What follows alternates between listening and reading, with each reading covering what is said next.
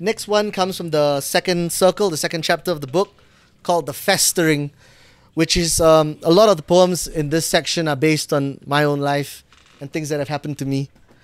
And because um, life really is a festering, if you think about it. This one's about lying. It's a fun, it's a fun poem.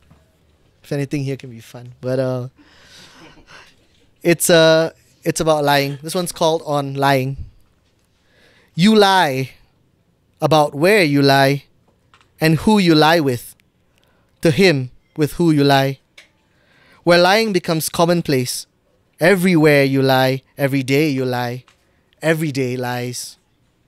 And you continue to lie, and lie and lie, and lie and lie. They become nameless, your lies.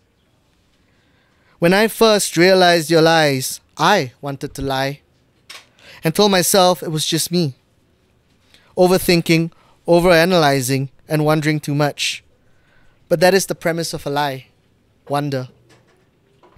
A lie is born out of wonder, born out of fantasy.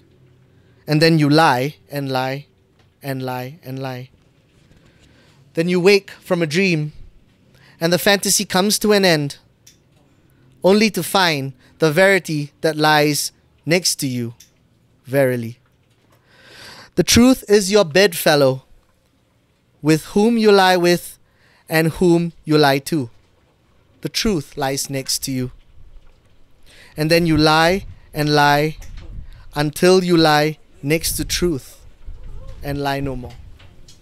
Cheers.